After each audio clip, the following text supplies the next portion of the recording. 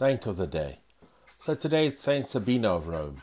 So on this day, August the 29th, 2023, we commemorate the inspiring life of Saint Sabina of Rome, a remarkable woman whose legacy continues to shine through the annals of history. Born in the second century, Saint Sabina's story serves as a testament to unwavering faith and a steadfast devotion. Saint Sabina, a Roman matron, was known not only for her beauty, but also for her kind and compassionate heart. While much of her life remains shrouded in mystery, her impact on the early Christian community is undeniable. It is said that she embraced Christianity during a time of persecution, when the followers of Christ faced immense challenges and threats to their beliefs.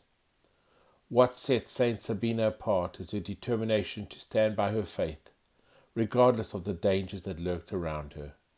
She opened she openly opened her home as a safe haven for fellow Christians, where they could gather to worship in secret and find solace in one another's company. This act of hospitality and courage was a beacon of hope in a time of darkness. Saint Sabina's commitment to her faith and her willingness to share it with others earned her a place of honor amongst the saints. Her legacy endures not just for her contributions to the early Christian community, but also for the way she exemplified the virtues of love, hospitality, and resilience. Though history has preserved only fragments of her words, Saint Sabina's devotion spoke volumes. She once said, In times of trial, let your faith be your guiding light, for this, even the smallest flame can dispel the darkest and deepest of the darkness. This enduring advice continues to inspire countless individuals facing challenges in their own lives. So, as we reflect on the life of Saint Sabina of Rome, let us draw strength from her unwavering faith and her ability to stand firm in the face of adversity. May we be reminded of the importance of opening our hearts to others and offering kindness to those in need, just as she did.